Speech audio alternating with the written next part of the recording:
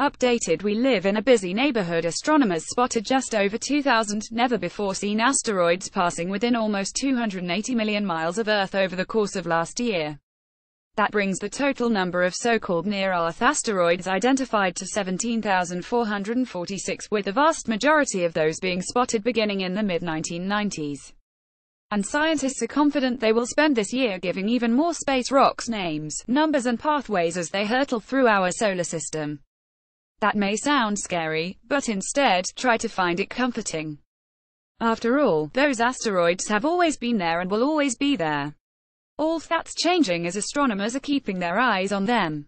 That means if any looks poised to cause trouble, which none do for the foreseeable future, well know in time to do something about it.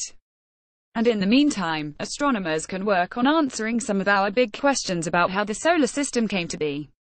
This is not a reflection of an increased number of asteroids passing by. Paul Chodas, manager of the Center for Near-Earth Object Studies at NASA's Jet Propulsion Laboratory, told Newsweek, the increase in discoveries reflects our increased capabilities, like our ability to detect fainter objects, thanks to more powerful telescopes, and to watch more of the sky at once.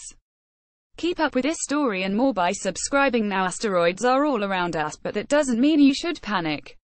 NASA Another piece of good news buried in the statistics is that scientists are slowly failing to find any more asteroids that are larger than a kilometer across, or about 0.6 miles. Try as we may, even searching with better and better telescopes, we're not finding more asteroids of this size, Chodas said. That means scientists think they've found more than 95% of that category. We've already found the vast majority of the large ones, and that's good news because those are the ones that could lead to a global catastrophe if those should hit, he said. The ones that are left to find, he says, are likely tucked away in orbits that are difficult to search. The middle-size category, asteroids that are larger than 140 meters, or 460 feet, across is where astronomers are really focusing their efforts right now. At that size, a reasonably large chunk of an asteroid could still make it through Earth's protective atmosphere to the surface. It could certainly lead to regional catastrophe wherever it might hit, Chodas said of an object that size.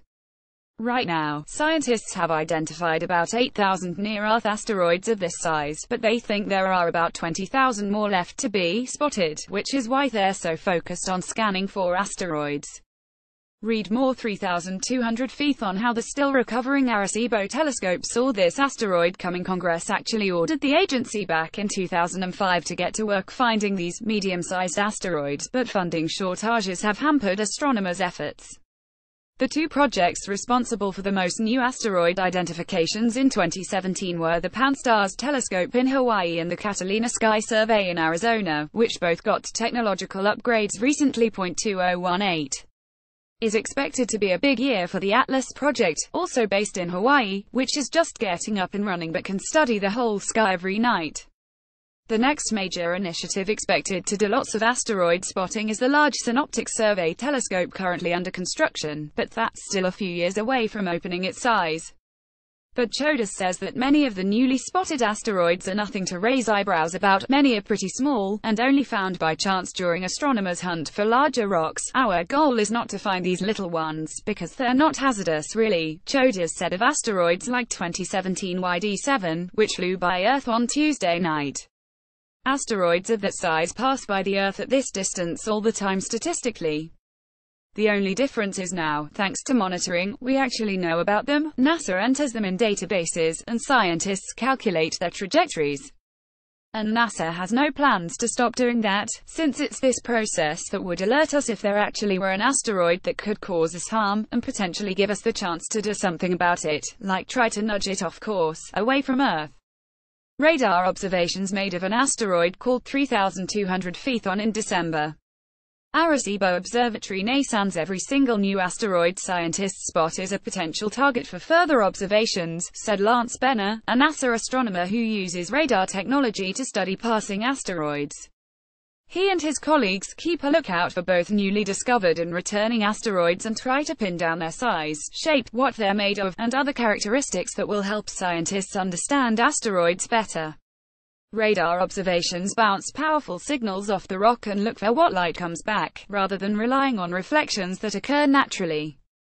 In principle, we could see a golf ball at the distance of the moon, Benner said. Not that we actually look for golf balls at that distance.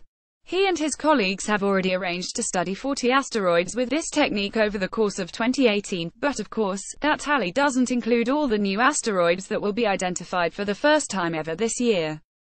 This story was updated to include more information about the total number of known near-Earth asteroids and when NASA began hunting for them in earnest.